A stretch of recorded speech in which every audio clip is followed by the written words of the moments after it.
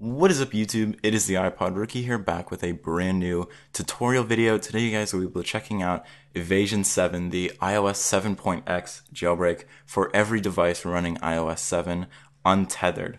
So you guys, the evaders surprised everyone and surprised me. I woke up to this and the jailbreak for iOS 7 7.0 running to 7.1 beta 2 has been released. As you guys can see, my iPhone 5 running 7.0.4 is supported.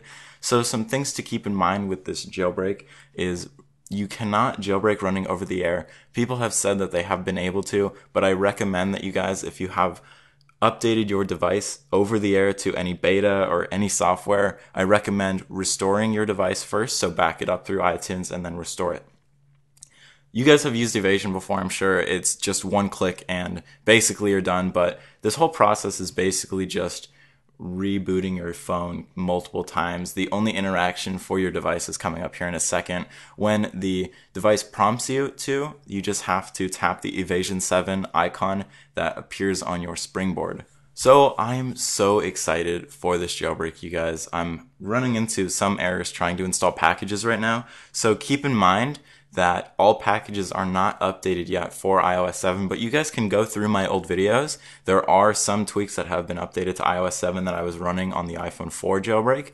So you guys can check those out. I know uh, Hidden Settings 7 might be working on this, but that's for a different video. So basically all you guys have to do is click jailbreak and then just read the prompts and it'll tell you what to do.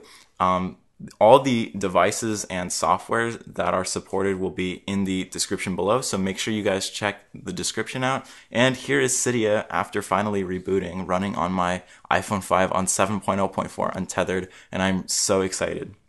So comment down below if you guys will be using this jailbreak. And uh, also make sure you read the whole description for all the info. And I will see you guys in the next one. Like and subscribe. I hope you guys have a great day. Bye.